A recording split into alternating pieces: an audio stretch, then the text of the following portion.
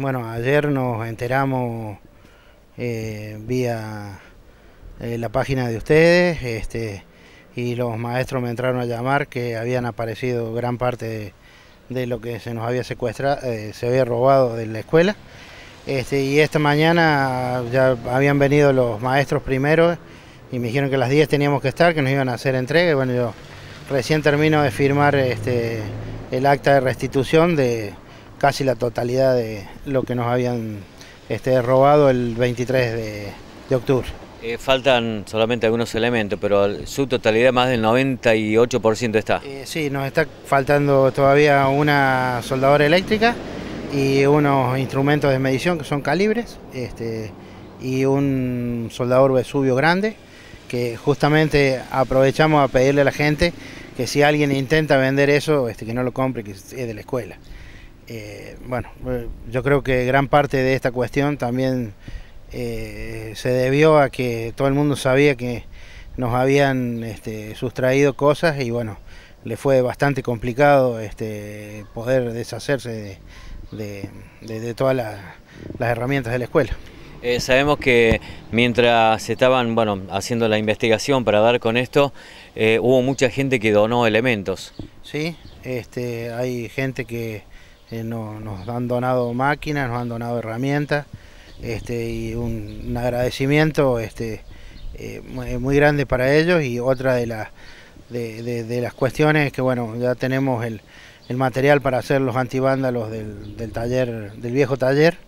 Este, y bueno, vamos a ver si los podemos hacer antes de fin de año o, o los primeros meses del año que viene para darle más seguridad y bueno, y ver también algunas otras medidas de seguridad que ya estamos conversando con la gente de, cooperadora y con este, la gente de la municipalidad y todo lo demás.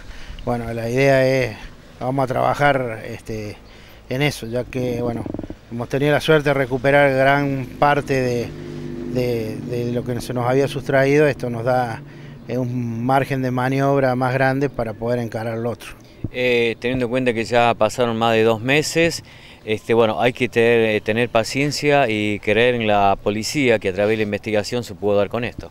Eh, yo creo que son todos procesos y, en los procesos a veces las cosas no aparecen mágicamente. Nosotros en la escuela sabemos bastante de procesos, este, lo que sí este, te, te, pinche y te deja sin ganas por ahí cuando, cuando, cuando te pegan. Eh, bueno, eh, había que armarse de paciencia y, de seguir algunas cosas y bueno, y uno también, este, eh, ayer cuando nos enteramos dijimos, bueno, por fin una buena, aunque sea al, final del año, este, y no teníamos en claro qué era lo que había, bueno, esta mañana cuando vinimos y lo reconocimos, ahí este, recién nos entró, digamos, esta cuestión de que este, era la, mayor cantidad de las cosas. Bueno, eran dos eléctricas que eran una de, de las cuestiones complicadas que teníamos. Este, también eh, recuperamos las caladoras que son de los chicos para primer año, las amoladoras que son las que usan este, los chicos de cuarto, bueno, importante. Eh, Ricardo, bueno, viendo esto, cuando cargaban los profes que ya recuperando eh, los elementos que habían sido robados, es decir, uno piensa, esto eh, quien robó salió por el portón, corrieron el portón y salió porque semejante peso y una estructura bastante grande como para sacarlo por un ventiluz, ¿no? Eh, yo no tengo idea cuánta gente entró, pero mm, no sé si eh, hicieron apertura de lo, del, portón, porque el portón apareció totalmente cerrado. ¿qué, empieza a pensar? Que no fue uno, sino que fueron varios.